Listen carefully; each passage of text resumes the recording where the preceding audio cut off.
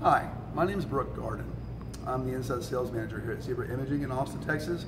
I wanted to talk to you just for a few minutes about our exciting new technology that's going to help you grow your practice. This is a 3D holographic print. Um, it offers three different images in, in one print. Right now you see the arterial and bone structure of the human anatomy. However, if you move to your right, you're going to be able to see now the organ and gland structure of the same anatomy. Um, moving to your left, you're going to be able to see again the arterial and uh, bone structure, but then of course the muscular structure of the same anatomy appears within the same image. Um, we also did other things that we've done for the National Institute of Health. Um, we use the technology to help you grow your business, to help understand patient comprehension. I would love to talk to you more about how we can use this technology to help you grow your business. Thanks. Have a good day.